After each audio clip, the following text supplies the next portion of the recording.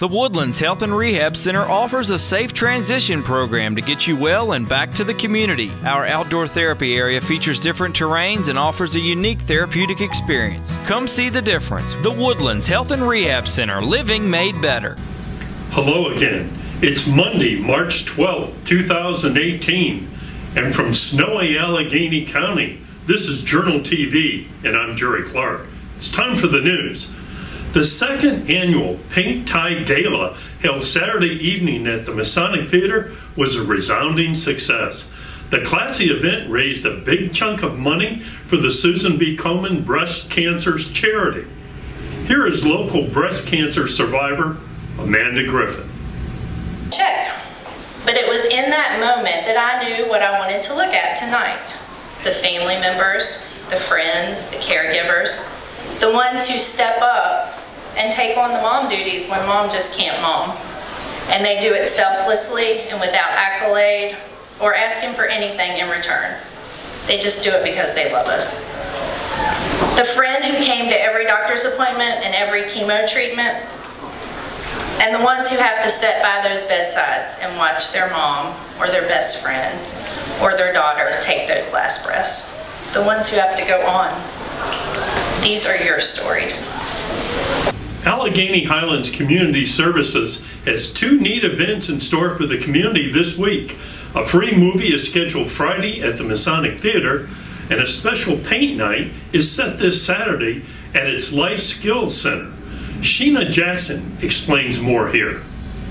We chose David Hazlett, and the reason that we chose him is because his daughter, Elena, uh, used to receive services from Alleghany Highlands Community Services.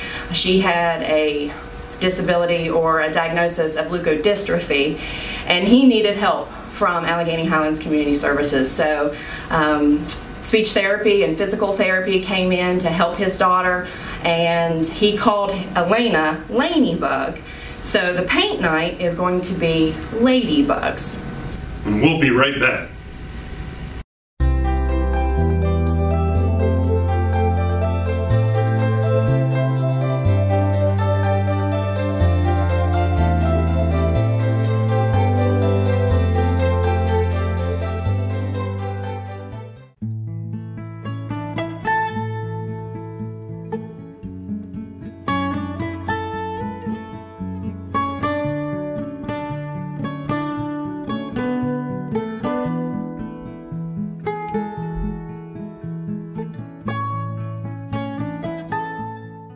In a detailed letter to the editor last week, DSLCC President John Rainone spelled out the fact that by the end of the decade, almost 70% of all job openings will require an education or skills training beyond that of high school.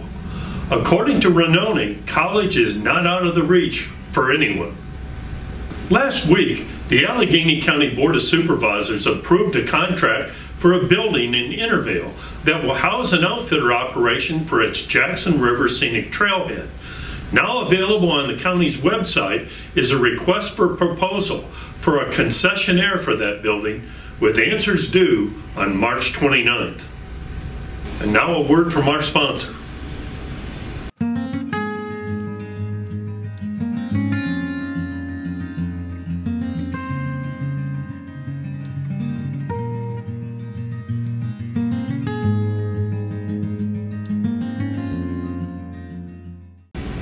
Now it's time for Editor's Quickies.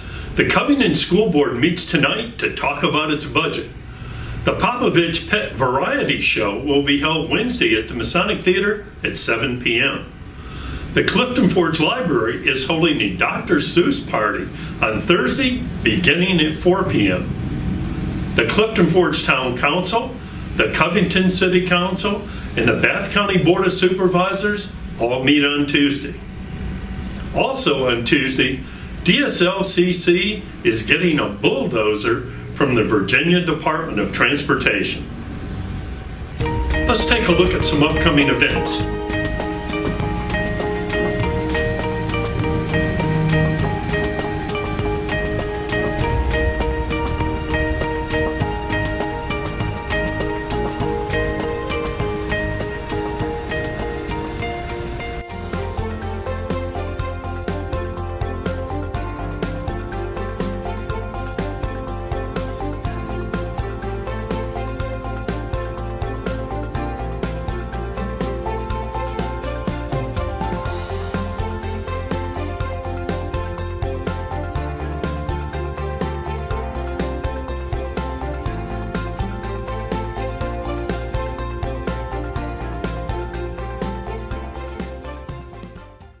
And now for local obituaries.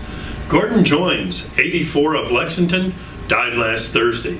Memorial service will be held in Roanoke on Monday night at the Community Advent Christian Church. John Clark, 80 of Lexington, died last Thursday. A graveside service was conducted Saturday at the Collierstown Presbyterian Cemetery.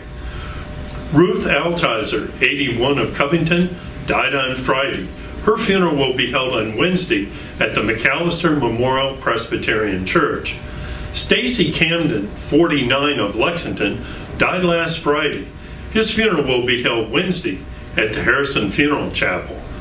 Sherman Rice, 71 of Clifton Forge, died on Monday. His funeral will be held Thursday at the Nicely Funeral Home. Leanne Plogger, 60 of Hot Springs, died on Thursday. Memorial service is set Tuesday at the McLaughlin and Young Funeral Home. Let's check out the local weather forecast.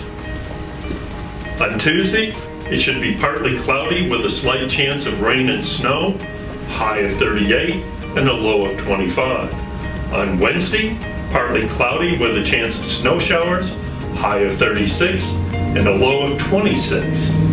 And on Thursday, it should be partly cloudy with a chance of snow showers, high of 50 and a low of 35 degrees. And even though it doesn't look like it today, there's good news. There's only eight more days until springtime in Virginia. And that's the way it is on Monday, March 12, 2018. More stories, photos, videos, and interviews are available 24 7, 365 on AlleghanyJournal.com, YouTube, and on our Soaring Facebook page. Thanks very much for watching Journal TV.